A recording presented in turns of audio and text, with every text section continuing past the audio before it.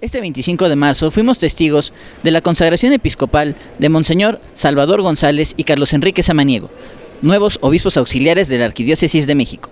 El arzobispo primado de México, Carlos Aguiar Retes, hizo la consagración episcopal de los obispos y en su homilía mencionó que deben ejercer tres características: la comunión, con la Trinidad que los guiará y los consolará, la colegialidad, que respecta a que ni solos ni aislados somos capaces de llevar a cabo la misión.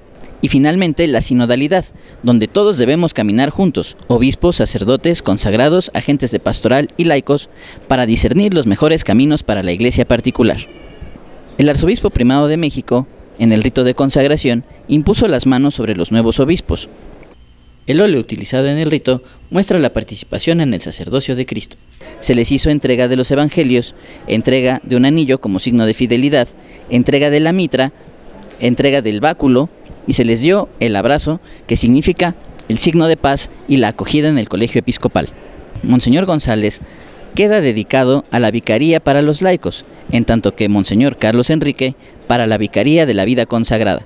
Al término de la ceremonia, Monseñor Salvador agradeció su incorporación al colegio episcopal, así como su acogida por parte de los demás obispos, y agradeció a Monseñor Vargas Peña, así como a su familia, y agradeció a la comunidad de Xochimilco, donde ejerció los últimos cuatro años de su ministerio. En tanto, Monseñor Carlos Enrique dijo que esta ceremonia fue una experiencia de Dios y que pretenden ser pastores con olor a oveja para combatir la pseudocultura del descarte.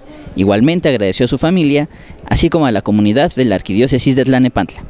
En la Eucaristía, con rito de consagración episcopal, participaron multitud de obispos, entre ellos el nuncio apostólico Monseñor Franco Coppola. Para Yo Influyo, Jorge López.